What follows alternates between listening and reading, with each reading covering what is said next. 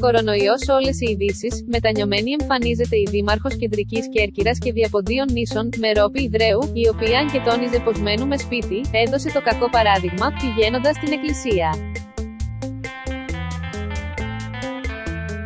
Η Μερόπη Ιδραίου ζητάει συγγνώμη για αυτή την κίνηση της και παράλληλα τονίζει ότι προσήλθε στον Ιερό Ναό χωρίς να παραβιάσει κάποια πόρτα.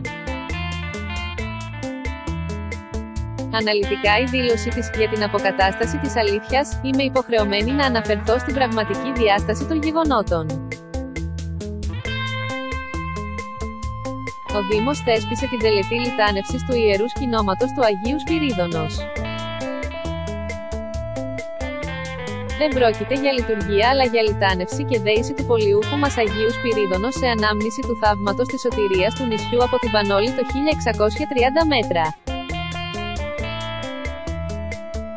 Η απόφαση ήταν η λιτάνευση να ακυρωθεί και να πραγματοποιηθεί περιφορά αυστηρά εντός του ναού και όχι γύρω από το ναό για να μην υπάρξει συνάθρηση πιστών. Στον ιερό ναό προσήλθα χωρίς να παραβιάσω θύρες, παρέμεινα τηρώντας όλες τις αποστάσεις για λίγα λεπτά, μόνο για την περιφορά ως εκπρόσωπος όλου του Δήμου και αποχώρησα.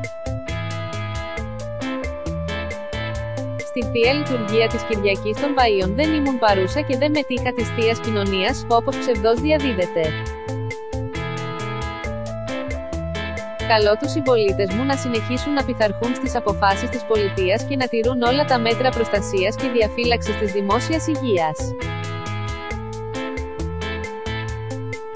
Δεν χρειάζομαι και δεν χρησιμοποιώ δικαιολογίες, ξέρω να αναλαμβάνω την ευθύνη των πράξεων μου.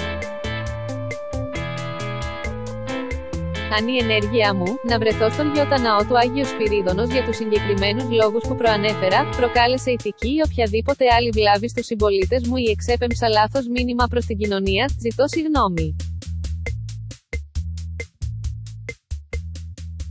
Από εκεί και πέρα, είμαι έτοιμη να αντιμετωπίσω και τη μικροκομματική εκμετάλλευση που επιχειρούν κάποιοι αλλά και τη στοχοποίησή μου.